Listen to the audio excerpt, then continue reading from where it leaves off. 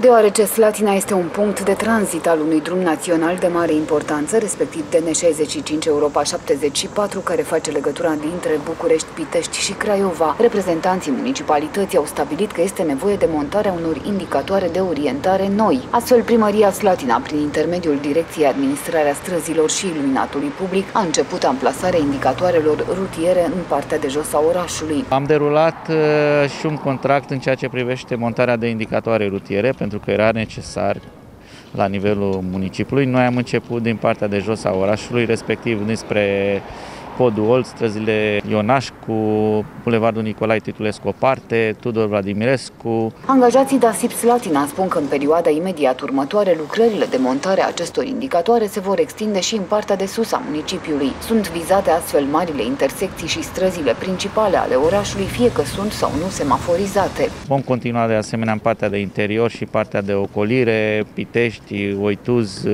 Cireașov, Artileriei, iar apoi partea de interior. Uh, deocamdată am început cu, cu indicatoare de dimensiuni mici și medii, urmând că într-o lună, două să dăm drumul și la 10 console, stâlp plus, plus braț, acele console suspendate, peste care se montează indicatoare de mari dimensiuni. Decizia de montare a unor noi indicatoare de orientare pe raza municipiului Slatina are ca scop fluidizarea traficului de tranzit din oraș.